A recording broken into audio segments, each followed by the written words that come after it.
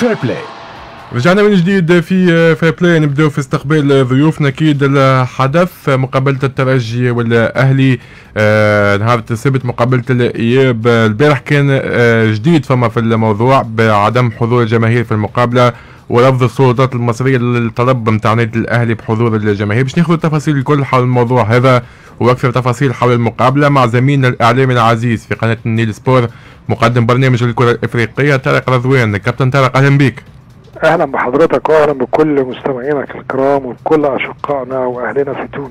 الله يخليك سعيد جدا في كل مناسبة تكون فيها جديد في أسعد والله. إنك تكون معنا. الله يخليك. باهي كابتن طارق البارح سمعنا الناس الكل خبر إنه المقابلة آه، باش تدور رسميا دون حضور جماهيري. لو كان تعطينا أكثر تفاصيل.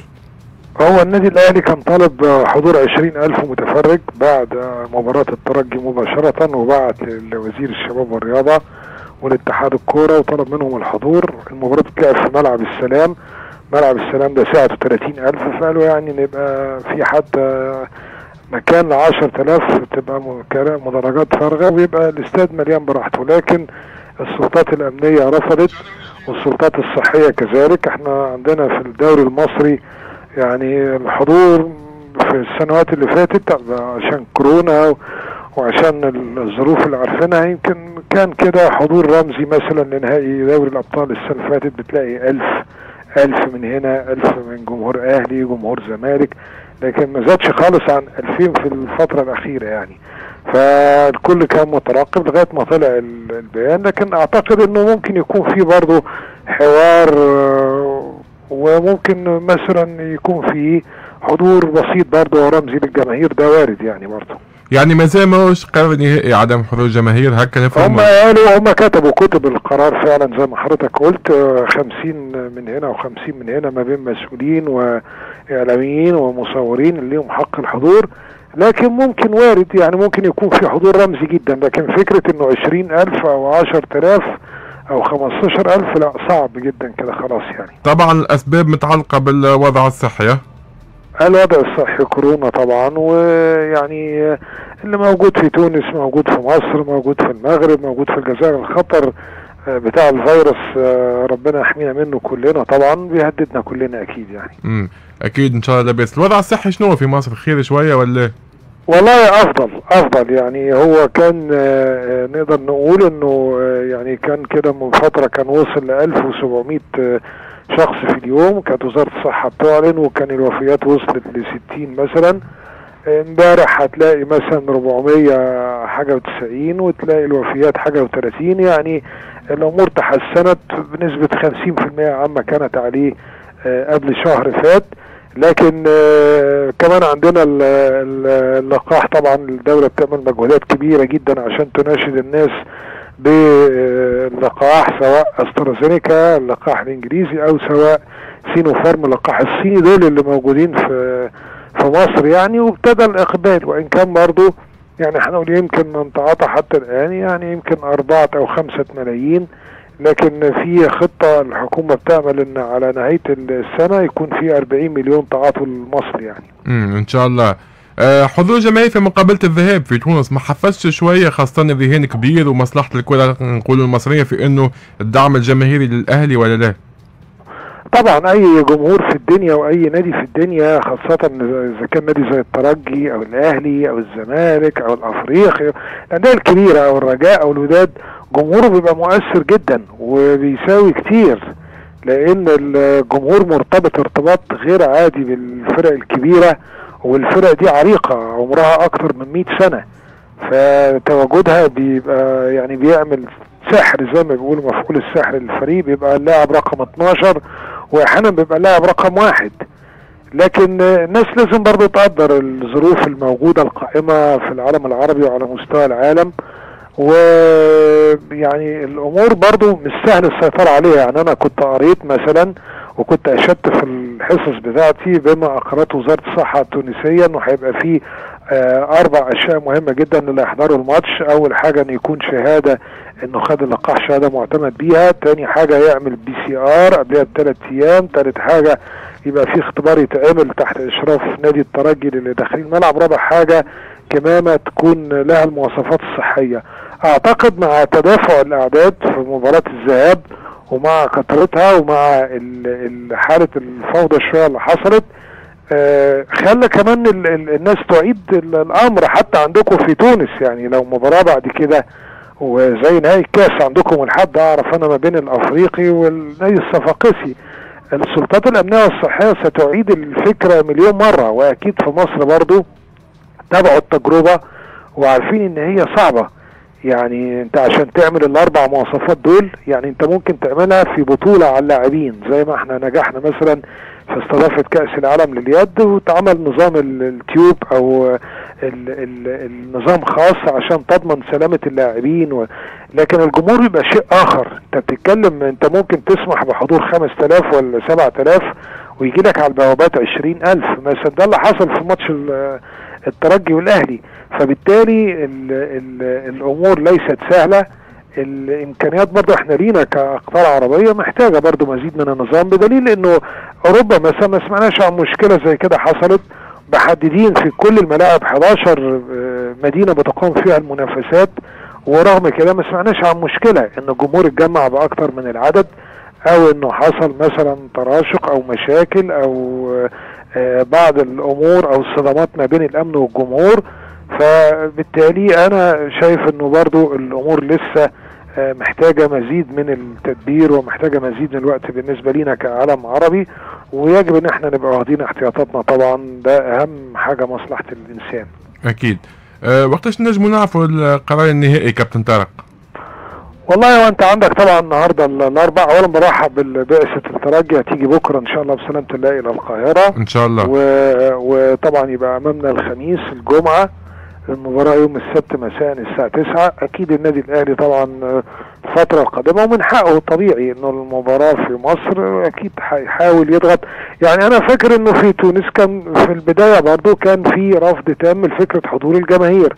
وبعدين حصل ضغط من الترجي فقالوا طيب هيبقى آه، عدد رمزي وقالوا 2500 وقالوا 5000 وبعدين بعد كده آه، وصل العدد أعتقد زاد على 10000 يوم ال- المباراة على حسب ما أعرف فبالتالي آه، أتصور إنه هيبقى فيه برضه محاولات لغاية يعني مثلا آه، يوم الجمعة بعد الجمعة خلاص بقى هيبقى صعب يعني لو مم. لو ما فيش آه لو الجمعة عدى خلاص هتعرف بقى إنه الأمور صعبة لأنه حتى أنت لو لو أعلنت ال- السبت هيبقى الوقت مش مش متاح ومش هتقدر تاخد إجراءاتك إذا كنت مثلا يعني مثلا تونس كانوا عاملين إن أنت لازم تكون كمان عامل PCR تاني اختبار مم. آخر ويكون في آخر ثلاث أيام فأنا أتصور إنه يعني آخر فرصة هتبقى يعني مساء الخميس مساء غدا يعني أو صباح الجمعة بالكثير جدا يعني مم. باهي كابتن طارق نحكيو شوية على آخر أخبار الأهلي. تقريبا أعطينا شوية آخر أخبار على الفريق. تقريبا كان كل اللاعبين جاهزين للمقابلة. والله هو طبعا الأهلي معنوياته كويسة جدا. ال- الأهلي خد ميزة كويسة جدا وهي إنه ما عندوش مباريات في الدوري. اتحاد الكرة والجماعة المصرية يعني قالت إنه برضه يعني عشان الأهلي وممثل الكرة المصرية فكل المباريات تأجلت. ودي اتاحت الفرصة انه لأن العناصر اللي كانت آه، يعني عندها آه، مشاكل آه، عندها ارهاق عندها بعض التعب اصبحت جاهزة وشاركت في المباراة الاولى. نفس الامر في المباراة الثانية يمكن هو كان احمد كان محمد هاني الظهير الايمن لكن لما لعب مطرحه حتى اكرم توفيق قدم مباراة جيدة جدا ورائعة جدا. علي معلول خلاص تماثل للشفاء 100% كان غاب لفترة وبعدين كان ابتدى ينزله نزله تلت ساعة في ماتش السوبر اللي كان في قطر وماتش الترجي لعب من أول المباراة فهو اطمأن إلى سلامته بنسبة 100% مم. ال- التشكيلة الأساسية للأهلي يعني أعتقد إن هي ما فيش أي مشاكل ما فيش آه، قلق لكن هو القلق من النتيجة. وموسيماني برضو شفناه في المؤتمر ال- ال- الصحفي والإعلامي بعد المباراة قال 1-0 مش حاجة. الفرق الكبيرة بتقدر إن هي تعوض النتائج والترجي فريق كبير. وفي نفس الوقت أنا مبسوط بالنتيجة اللي عملناها في تونس ومباراة العودة هتبقى مباراة صعبة. وهو الحقيقة موسيماني شاطر يعني موسيماني عنده من الخبرة الأفريقية اللي مكنته إنه بيظهر قدراته في المباريات الأفريقية أكثر من المحليه يعني يمكن المسيرة الأفريقية للأهلي أفضل من مسيرته المحلية اللي أضاع فيها نقط وقدم عروض يعني كانت أقل من اللي منتظرها جماهيره. فالخبرة مهمة جدا. على الجانب الآخر معين الشعباني حاطط الأمل وإن كنت أنا عرفت برضو إنه الترجي في بعض القلق يعني وعرفنا إن رئيس النادي يعني مش هيصاحب الفريق غالبا في القاهرة حمدي المدب ويعني عرفنا برضو الشيء المؤسف اللي حصل اللي هو الاحتكاك اللي حصل ما بين الجماهير واللاعبين في تدريب الترجي وده شيء الحقيقة مرفوض يعني لازم الناس تعرف سواء في مصر أو في تونس أو في أي نادي في عالمنا العربي إن الكرة دي وسيلة للترفيه وللتسلية ولدعم العلاقات وإن جميل إن أنا فريق يكسب لكن ما تبقاش نهاية الدنيا لو خسر ماتش وإنه اللاعب بيبذل قصارى جهده وفي نوع بيبقى من التوفيق يعني. فده برضو الغرض الرئيسي اللي الناس كلها لازم تعرفه. واضح. آه به كابتن كابتن طارق محمد هاني باش يكون موجود في المقابلة ولا لا صعيب؟ والله محمد هاني المباراة الأولى غاب عنها. هاي. أنا أتصور إنه حتى لو تماثل للشفاء هو بعد فترة الغياب ما يقدرش يدفع بيه من الأول. ده يعني حاجة واضحة في كرة القدم خاصة لما بتكون مباراة كبيرة في حجم الأهلي والترجي. وبالتالي حتى لو كان يعني في بصيص من الأمل إنه يشارك من الصعب إن هو يدفع بيه بالإضافة إن هو عنده تجربة ناجحة مباراة الذهاب اللي لعب فيها أكرم توفيق على الجانب الأيمن فبالتالي ممكن جدا يكررها في مباراة العودة ويبدأ بتشكيلة أقرب للتشكيلة اللي لعب بيها في مباراة الذهاب. يعني كنوع من التفاؤل وكنوع من الدعم للفريق خاصة زي ما قلت لك إنه مفيش أي ماتشات رسمية اتلعبت يعني الأهلي خلال شهر جوان اللي هو يونيو الحالي ما لعبش أي مباراة رسمية غير مباراة الترجي في تونس. فبالتالي إن أنت تخاطر بأي عنصر جديد بقاله فترة بعيد كان مصاب هيبقى صعب شوية. لكن ممكن يعني تشوف تغيير في لاعب أو اتنين على الأكثر. ده وجهة نظري يعني. امم آه بي ردود أفعال الاعلام المصري بعد المقابلة نتاع الذهاب. كيف يشوفوا خاصة مقابلة الإياب؟ هل حسمت التأهل وإلا آه لا ما زال تخوف مترجي؟ لا طبعا ما فيش في كره القدم حاجة اسمها حسمت. وشفنا كم من الغريب والعجيب جدا إن مفيش ولا فريق كسب على ملعبه لا في دوري الأبطال ولا الكونفدرالية وده أمر غريب جدا. يعني يعني حتى في دوري الأبطال الجهة الأخرى الوداد خسر من كايزر شيفز في ملعبه. تروح للكونفدرالية بيراميدز فشل في الفوز على ملعبه وتعادل. تروح للقطن الكاميروني في ملعبه وشباب وشبيبه القبائل فاز شبيبه القبائل 2-1 فكان أمر غريب جدا. فكل الأمور واردة في كرة القدم مفيش حاجة حسمت.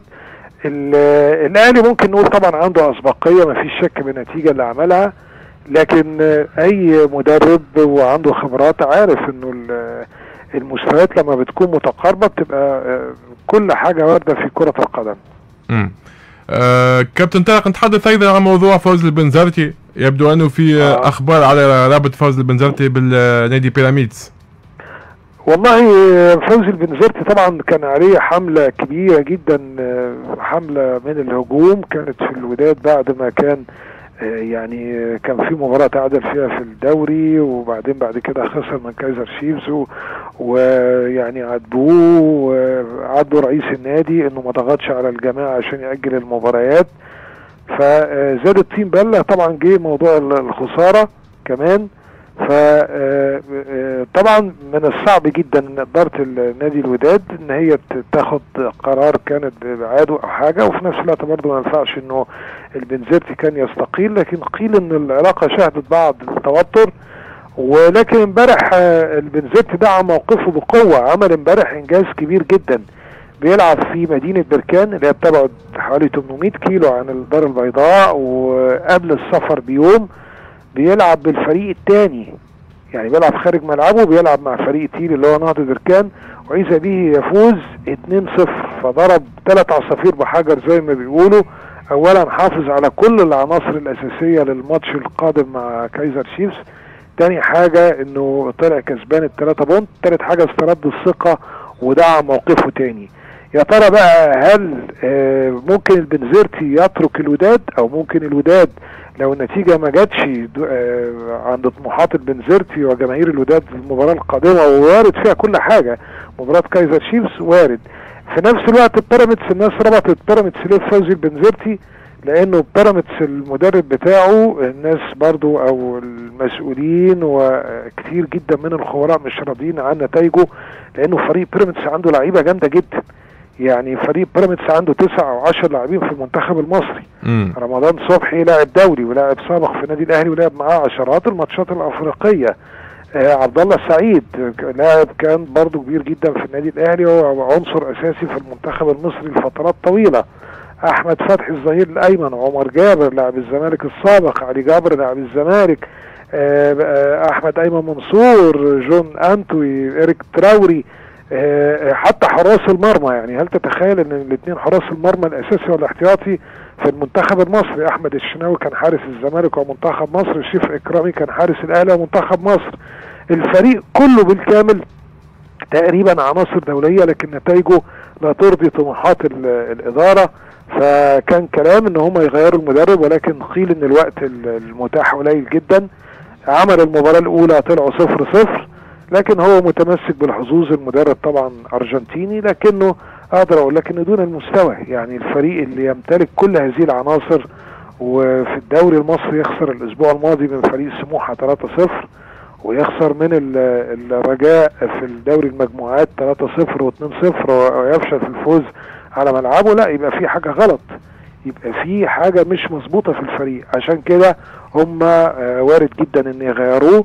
وممكن يكون في هناك خط اتصال ما بين فوزي بنزرتي وبيراميدز. على فكرة اللي ما يعرفوش ناس كتير قوي وهقوله لك يمكن لأول مرة مم. فوزي البنزرتي كان من طموحاته وعبر لناس كتير قوي إنه عايز يدرب فريق كبير في مصر. هو له تجربة ناجحة في ليبيا مع المنتخب الليبي له تجربة ناجحة ورائعة مع الرجاء ومع الوداد ووصل بالرجاء لنهائي كأس العالم لل- للأندية. طبعا ده كان إنجاز كبير جدا.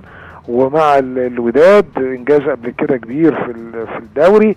فهو تونس طبعا كل الأندية الكبيرة دربها الأفريقي والترجي والصفاقسي والنجم الساحلي وكان ليه تجارب ناجحة. المحطة الوحيدة اللي تمنى البنزرتي إن يكون ليه فيها بصمة وفي الخليج على فكرة كمان كان ليه آه، إمارات. خاصة. آه في الإمارات طبعا. المحطة الوحيدة والمكان اللي تمنى فيه فوزي بنزرتي في أكتر من فرصة لعمل ولكن الظروف كانت يعني بيحصل حاجة تخلي الأمور تتغير كانت مصر. وكان حلم العمل في مصر قديم وهقول لك لأول مرة إنه في في نهاية التسعينات أنا تلقيت اتصال من إعلامي شهير يعني وموجود تونسي يعني بس فيني أنا اذكر اسمه يعني كان صديق عزيز. مم. وقال لي إنه ال- البنزرتي دلوقتي يعني طبعا هو مش موجود مع نادي وإنه كان ساعتها أعتقد مشي من النادي الأفريقي يعني في 99 مهم. افتكر في عام 2000 في عام يعني في الوقت ده 98 وإنه لابد يكون في تفكير وإنه وإنه وإنه الزمالك نادي كبير. كان الكلام على نادي الزمالك. والزمالك ساعتها أفتكر إنه تعاقد مع رود كرول. رود. كرول وده كان من 97 ل 99 أفتكر مع النادي الأهلي كان في مفاوضات وقال البنزرتي واعترف في, في, في عام 2014 أفتكر إن جاله عدة عروض ومن بينها الأهلي المصري وإن اسمه طرح وإن بعض الأشخاص اتصلوا بيه مم. النادي المصري من سنوات ودي بقى كانت رسمية اتصل بيه رجل الأعمال ال- السابق وكان رئيس للنادي المصري كامل أبو علي كامل. أبو علي. كامل أبو علي له طبعا إقامة وزوجة مغربية وبيجي تونس كتير والمغرب كتير فله علاقة صداقة مع البنزرتي ولكن. البنزرتي يعلم برضو أن المصري ليس زي مثل الأهلي والزمالك و... فبيراميدز تجربة برضو. تخلي فوزي البنزرتي أكيد. يفكر يعني تجربة آه،. مهمة جدا أكيد وارد كابتن, جدا آه كابتن طارق شكرا ليك شرفنا بحضورك معنا شكرا. لحضرتك ومرة أخرى يعني بنسعد جدا بحضرتك وبكل يخليك. وبنرحب بكل الفرق والأندية التونسية الله يخليك شكرا شكرا. ليك كابتن طارق سهيل السمعي بعد شوية في الأخبار وبعد رجعي